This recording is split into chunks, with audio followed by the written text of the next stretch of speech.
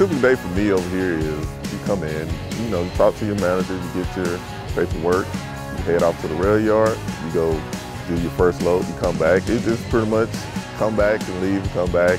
Most of the time the freight is um, no touch. We also get paid for everything that we do. So we do drop and hook, we get paid for that. Live loads, live unloads, delays in rail yards, breakdowns, any sort of delays, we get paid for.